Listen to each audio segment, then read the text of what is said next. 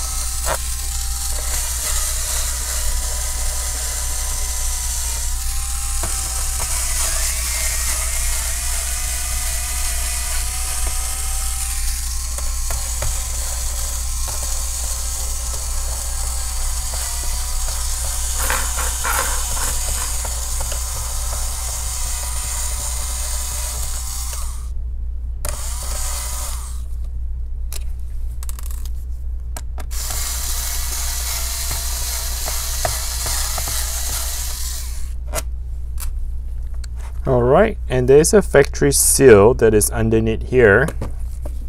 Either you can remove that seal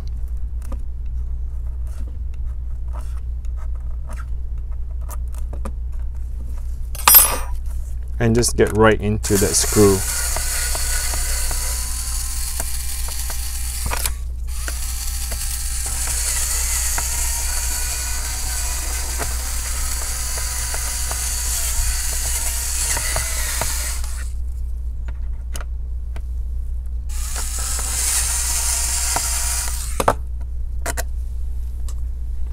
Okay, once you have removed all the screw, the next step is to remove the back cover. I like to begin with the corner where the weakest spot is going to be. I can easily pry it open. So let's find the very corner side, see if we can pry it open.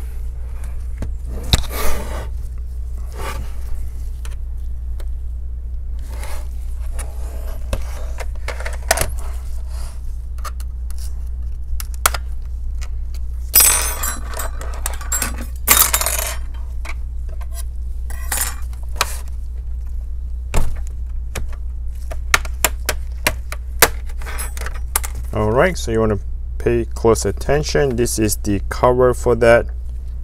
The back cover. Not the entire um, laptop but just that one side of it. Once you have removed the back cover you can see that the entire laptop is right in front of you. So let me do a quick walkthrough to this. You're going to see the battery here at underneath your CPU fans and the graphics card the heatsink and the fan. This is your SSD drive.